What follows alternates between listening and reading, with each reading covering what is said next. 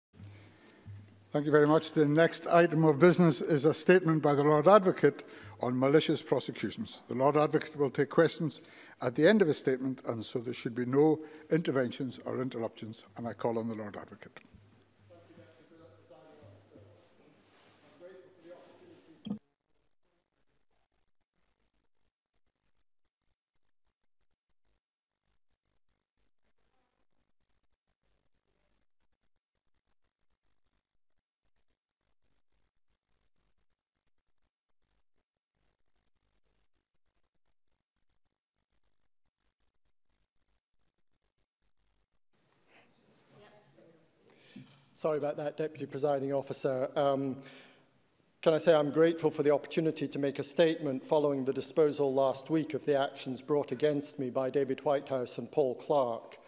Although those actions concerned events which predated my appointment as Lord Advocate, it was and is my responsibility as the current incumbent to account for them. There are ongoing proceedings related to this matter, That constrains what I can say today, but I welcome the fact that I am now free to begin the process of public and parliamentary accountability and to reiterate the commitment the Crown has already given to that process.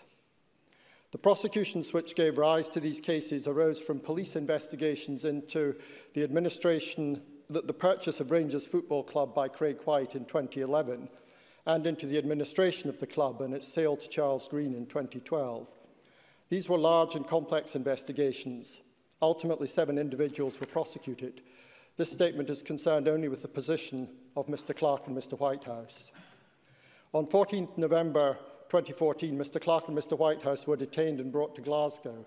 They were held in custody before appearing in court on 17 November on a petition containing charges relating to Mr White's purchase of Rangers. This started the clock for a statutory time bar, which, unless extended, required the Crown to serve an indictment in respect of these charges by 16 September 2015. In High Court cases after an accused has appeared on petition, the Crown undertakes a process of investigation and analysis called precognition. When completed, the precognition contains a detailed narrative of the evidence and an analysis of whether the evidence is sufficient to support criminal charges. The precognition is submitted to Crown Council for a decision on whether to issue an indictment. Whilst precognition is not a statutory requirement, it is a long-standing, routine and essential feature of Crown practice in relation to High Court cases. It provides assurance that there is a proper evidential basis for the indictment and, along with Crown Counsel's instruction, a record of the basis of the decision. This case was exceptional in its scale and complexity.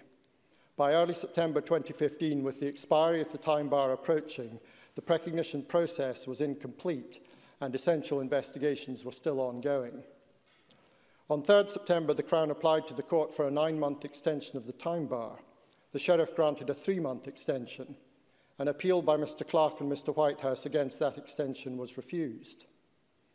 Meantime, on 2nd and 3rd September 2015, Mr Clark and Mr Whitehouse appeared in court again on a second petition, which contained new and separate charges relating to the second matter which the police had been investigating, namely the administration of Rangers and its sale to Charles Green in 2012. On 16th September 2015, Mr Clark and Mr Whitehouse, with five other accused, were indicted. The charges against them derived from both the November 2014 and the September 2015 petitions. At that time, the precognition process in relation to the November 2014 petition was still incomplete, and there was demonstrably no precognition in relation to the September 2015 petition, which had only just been initiated. Essential investigations were still ongoing in respect of the charges derived from the November 2014 petition, and there was evidence available which objectively was obviously inconsistent with the charges against these two accused derived from the September 2015 petition. On 2nd December 2015, a second indictment was served superseding the first one. At a preliminary hearing in February 2016, following legal argument, Crown Counsel withdrew certain of the charges. On 22 nd February, the judge dismissed the remaining charges against Mr Clark and Mr Whitehouse. Crown Counsel advised the court that consideration would be given to a further indictment against them. A Crown Office press statement issued that day indicated that a fresh indictment would be brought. This was corrected by a further statement the following day. On 25 May 2016, the Crown advised Mr Clark and Mr Whitehouse that there would be no further proceedings against them, and on 3 June 2016, Crown Counsel formally advised the court of that position.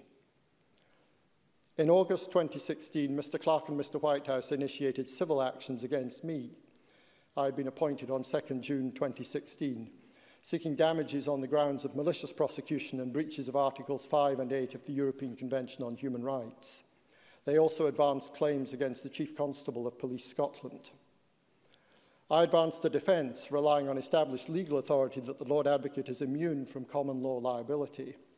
That defence was upheld at first instance, But in October 2019, the Inner House of the Court of Session overturned the previous legal authority and allowed the claims to proceed. On 20th August 2020, I admitted liability to Mr Clark and Mr Whitehouse. Those admissions followed the conclusion of a very substantial and lengthy investigation undertaken by the legal team, including external counsel, instructed on my behalf.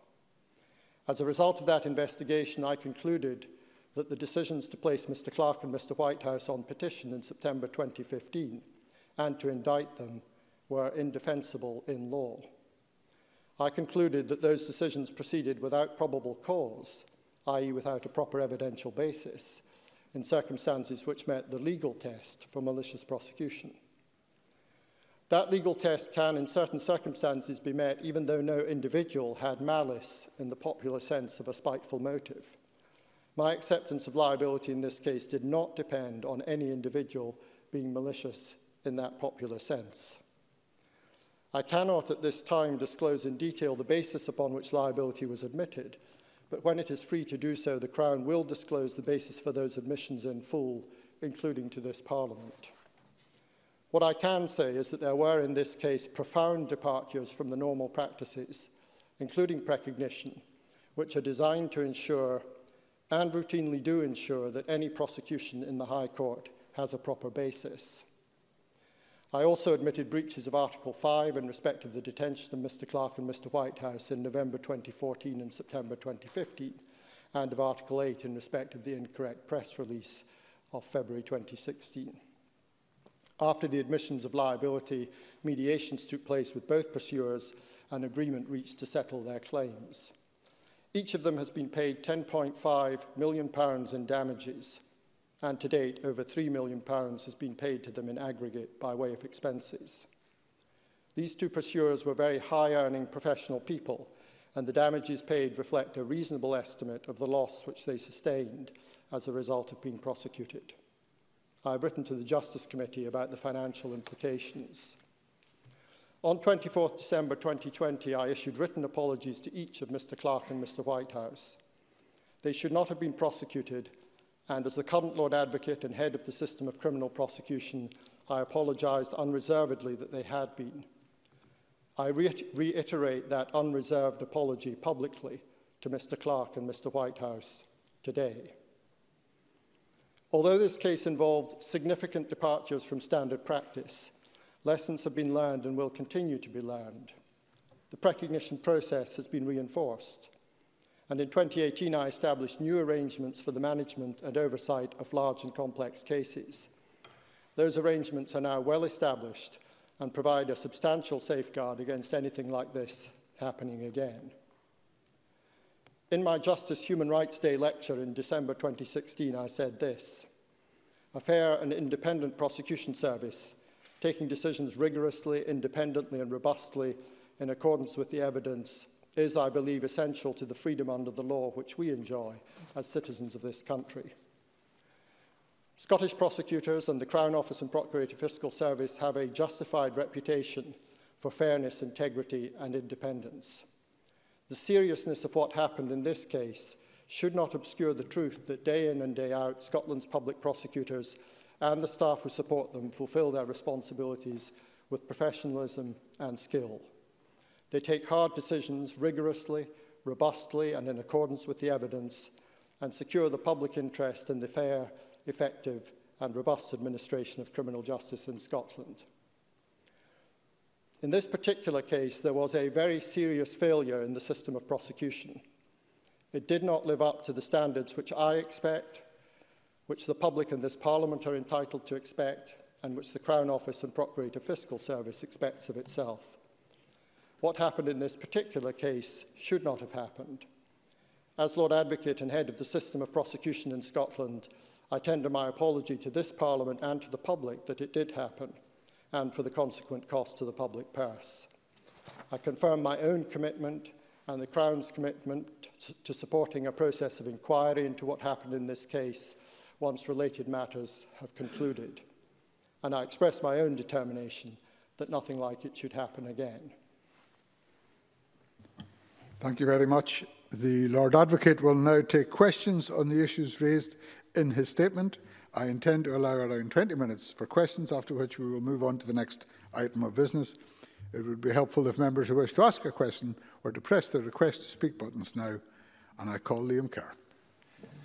Thank you, Presiding Officer, and I remind members I am a practicing solicitor. I thank the Lord Advocate for advance sight of his statement. It is an extraordinary catalogue of unexplained, profound departures from the normal practices. What is indefensible, to use the Lord Advocate's word, is that as the decisions, quote, proceeded without probable cause, i.e. without a proper evidential basis, end quote, this was a malicious prosecution. Presiding officer, let's be absolutely clear here. This was not simple human error or an obscure legal mistake. This is our system of prosecution, admitting that acting with malice, there was a move to throw innocent men behind bars and destroy their reputations. Which begs the obvious question, Lord Advocate, just how many times in Scottish legal history has there been a malicious prosecution? And in any event, crucially, I note that the Crown is committed to a process of inquiry. So focusing on that, can the Lord Advocate confirm that this will be a fully independent, judge-led, public inquiry which demands to know why malicious prosecutions were pursued in defiance of evidence? Will it investigate the actions of the Lord Advocate, his predecessor and all agents involved? And if not, how on earth can the Crown expect the people of Scotland to conclude anything other than that it is brushing this appalling state of affairs under the carpet? Lord Advocate.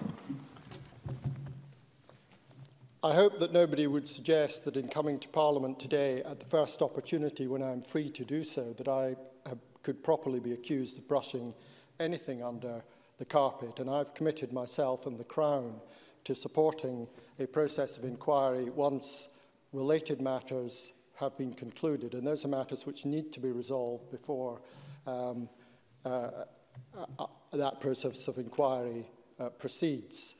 Um, on the first point that uh, Mr Kerr made, um, as I observed in my statement,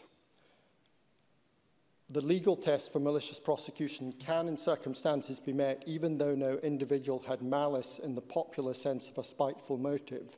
And I should be clear that my acceptance of liability in this case did not depend on any individual being malicious in that popular uh, sense. Um, that is not for a moment to minimize the seriousness of what happened in these cases. Quite the reverse, as I observed in my statement, uh, this represented a very serious failure in the system of prosecution uh, in Scotland. I was asked how many times this has happened. Um, as I've emphasised in my statement, routinely in High Court cases, a process of, known as precognition is undertaken. And that process um, necessarily involves a, a careful collection, investigation and analysis of the evidence. It involves a system of cross-checking and provides significant reassurance and should provide uh, reassurance to the public that routinely uh, in our system of prosecution cases are brought uh, on a, a proper basis. As I explained in my statement, in this case, uh, that process uh, was incomplete when the case was indicted and essential investigations had not been completed. So this was a case in which the normal processes that routinely in every High Court case are followed were not followed. And the public should take reassurance from that, that the prosecution system in Scotland is one which is robust, uh, fair, independent, and upon which they can rely. Rhoda Grant. Thank you, Presiding Officer, and I also thank the Lord Advocate for advance sight of his statement. This case raises serious concerns. That was thought that the Lord Advocate was immune from common law liability would suggest this should also have been beyond reproach. We imagine there are checks and balances within the system between the police and the Crown Office and Procurator Fiscal Service, where both challenge and question the activities and evidence in a case. This appears not to have happened or have gone seriously wrong in this situation with both being sued by David Whitehouse and Paul Clark. How could this have happened? Were there concerns raised internally or externally by the actions of both organisations at the time, especially when it came to light there was inconsistent evidence? The Lord Advocate says that the system has been improved and there cannot be but there cannot be proper scrutiny of this until we know exactly what went wrong in the first place. Until this happens, how can you expect to restore confidence in the system? Lord Advocate. Yes, I suppose the first thing that I should say is that at this time there are um, continuing live proceedings related to this matter, and regrettably, and I do regret it, that does constrain what I can say. Um, I've committed the Crown to engaging fully with public accountability for this uh, matter, and the Crown has committed to making more information available when it is free to do so, including the basis upon which liability was admitted in this case, and to supporting a process of inquiry uh, when, uh, when it is possible to uh, do that. Um, the, so, so in terms of giving assurance to the public uh, that um, lessons will be learned and that there will be public understanding of what happened here, I hope that gives some assurance to uh, Uh, to uh, the member. Um, in terms of checks and balances, it's perhaps worth noting that, um, and this is again not to minimise, not in any, any sense to minimise what happened in this case, uh, that um, the court fulfilled its functions in dealing with certain charges. And indeed, the Crown fulfilled its responsibilities uh, in terms of um, withdrawing charges and ultimately confirming that no prosecution uh, would uh, proceed. Now, as I say, that's not to minimize the significance of a prosecution being brought uh, without a proper basis. But there was there, there the case, you know, there the system, the checks and balances in the system uh, fulfilled uh, their functions. Um, as I've explained, routinely within Crown Office, um, there is a process of preparation of High Court cases which involves the cross-checking of cases by um, uh, initially staff of the Crown Office and Procurator Fiscal Service and ultimately by Crown Council uh, on the basis of a full narrative of the evidence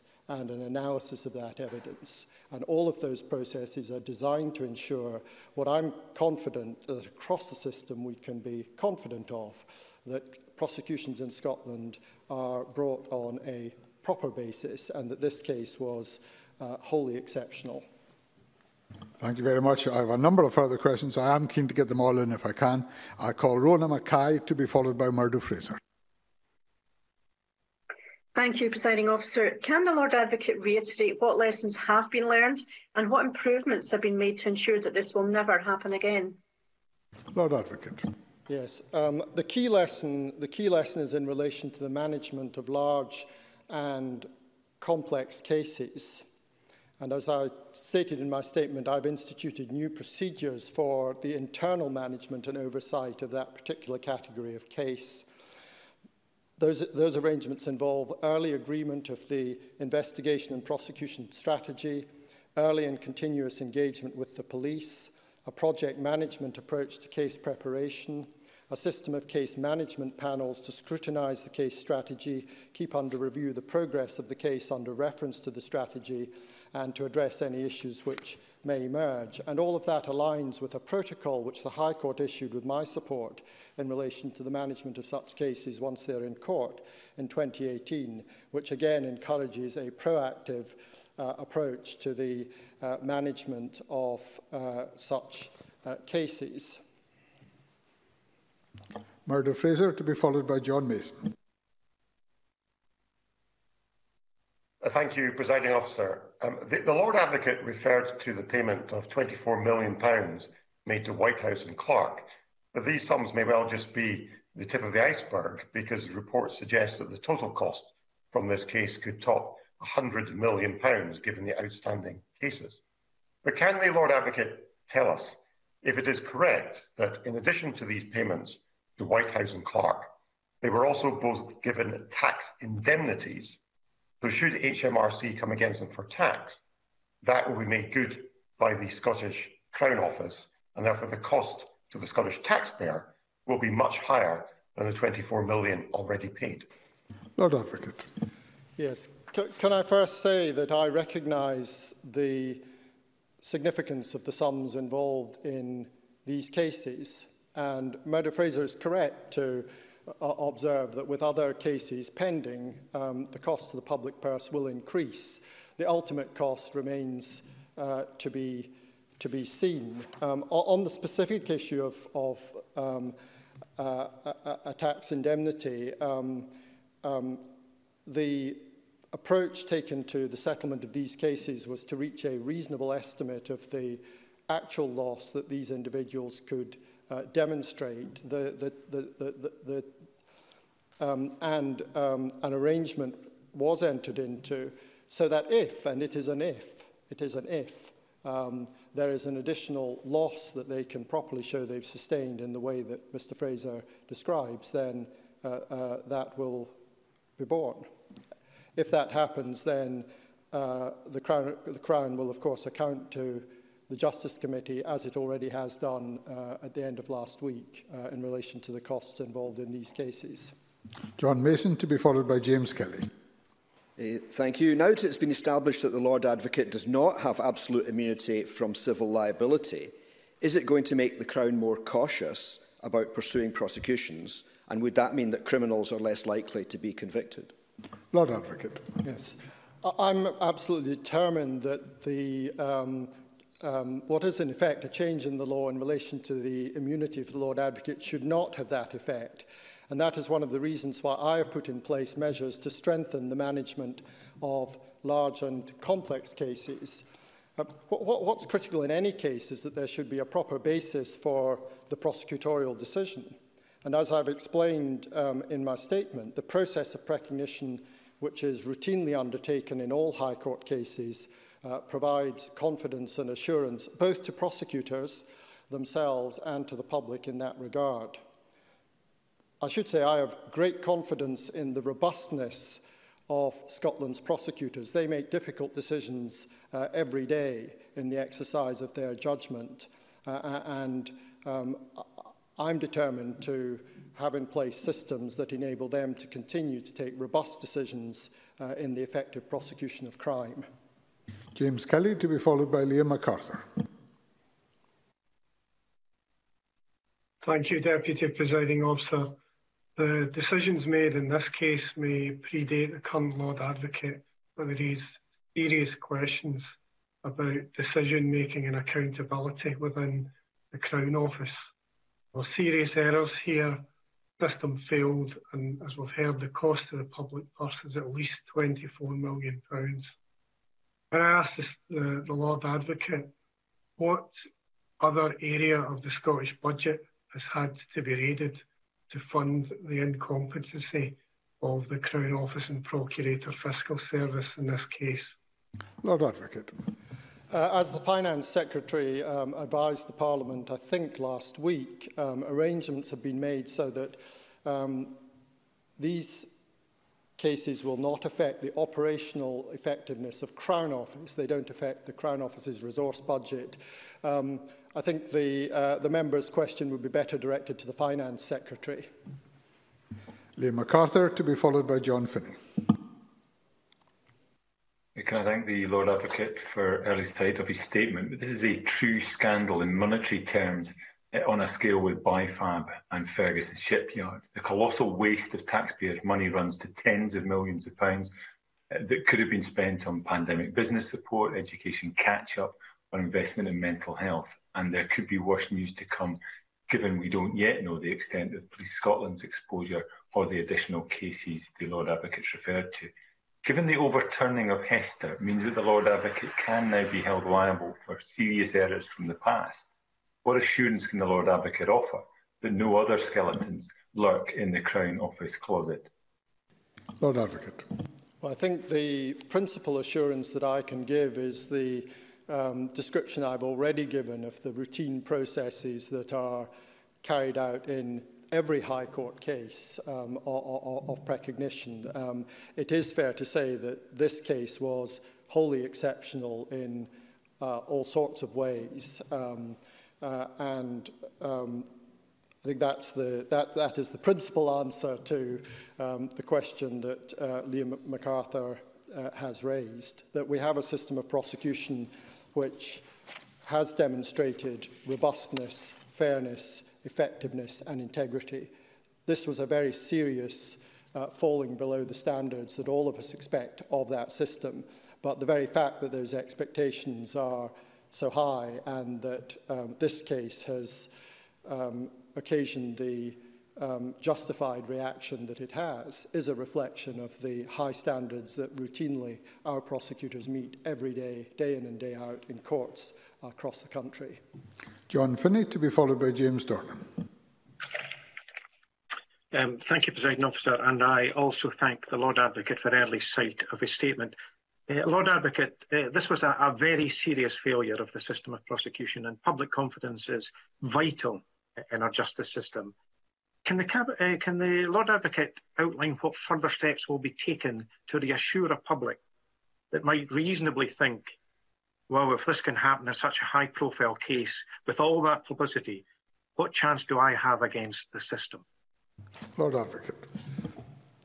Um, well, I think the, the, first, um, the first reason why the public should have reassurance is, that, is the point I made a moment ago to Liam MacArthur, that routinely, day in and day out, our prosecution system um, operates effectively, robustly, fairly, and is understood and seen by the public to do so. Prosecutors take decisions which, if they're taken to court, are tested in court before the independent court and are tested by the um, examination, cross-examination skill uh, of, of, of those who represent persons who are accused. So not only are there protections and reassurances to be taken from the well-justified um, recognition of the integrity and skill of our public prosecutors. But um, the public can also have confidence because of the reputation, integrity and skill both of the defence bar in testing prosecutions that are brought and ultimately of our court system in fairly and independently trying uh, any uh, case that is put into court. James Dornan to be followed by Adam Tompkins. Thank you, Presiding Officer. Having previously been a recognition officer, I'm surprised to see that the lack of recognition appears to have been a major failing in this case. But I wonder, Lord Advocate, if further to your statement you can give some detail to help provide reassurance that the Crown is indeed equipped to deal with complex financial crime going forward. Lord Advocate. Yes, in, in, in, indeed. Um, um, The, Crown, the Crown successfully prosecutes um, thousands of cases every day, every year, including complex financial crime. Uh, for example, last year, um, an accused was prosecuted in respect of a £12 million Ponzi scheme fraud involving 140 complainers and of laundering the proceeds of that crime. He was convicted and, and imprisoned for 14 uh, years. Um, Serious financial crime cases are dealt with in accordance with the arrangements I've described for large and complex uh, uh, cases. Um, and those uh, new arrangements which were put in place in 2018 should give reassurance that such cases will be effectively and properly investigated and prosecuted. Uh, and I may say that um, in the course of this Parliament, the uh, budget allocation to Crown Office of Procurator Fiscal Service has increased um, some 42%. And uh, while that was to deal with a range of pressures on the system, um, that has part of the um, uh, part, part, part of that um, additional budgetary resource ha has gone to ensure that the new system for the management of large and complex cases can be operated in the manner in which it's intended to. Adam Tompkins, to be followed by Alex Neil. Uh, thank you, Presiding Officer. What happened was completely indefensible, Lord Advocate. So I have a simple question to which I want an answer. Was it incompetence or was it corruption? Lord Advocate. I've, uh, I've said what I can say about the circumstances. There were very significant departures from the normal practices which routinely provide safeguards uh, against what happened in, in this case. And I have made clear that the admission of liability in this case uh, was not predicated on any individual having subjective uh, malice. Uh, I should also say that um, uh, the investigation that was carried out into the uh, prosecutorial uh, work on this case uh, did not report uh, any criminal conduct uh, to me. Had it done so, I would have taken uh, action. Um, but that does not preclude, that does not preclude, should criminal allegations come forward, uh, them being uh, considered uh, and, uh, if, if, if appropriate, uh, investigated. And I'm putting in place arrangements, including the in instruction of external senior counsel, so that uh, such a process can go forward if that's required. Alex Neil to be followed by Bill Kitt. Thank, thank, you very much indeed, presiding officer. Can I ask the Lord Advocate whether the former Lord Advocate Frank Mulholland, Police Scotland, and the team of prosecutors who worked in this case agree with his decision to pay out millions of pounds of public money on the basis that the prosecution was malicious. Is his own decision making in this case up to scratch and robust? Lord Advocate. Well, I have had to take the decision in relation to the civil action that was brought against me. I took that decision following the conclusion of a very substantial lengthy and carefully considered investigation undertaken by the legal team, including a team of external counsel instructed on my behalf. Um, this was a decision which it fell to me to take and for which I stand here and account to the Parliament. Bill Kidd to be followed by Neil Findlay. Thank you, President Officer. Can the Lord Advocate provide reassurance to victims and witnesses that arrangements have been made so that the settlements made will not affect the service that the Crown Office provides? Lord Advocate.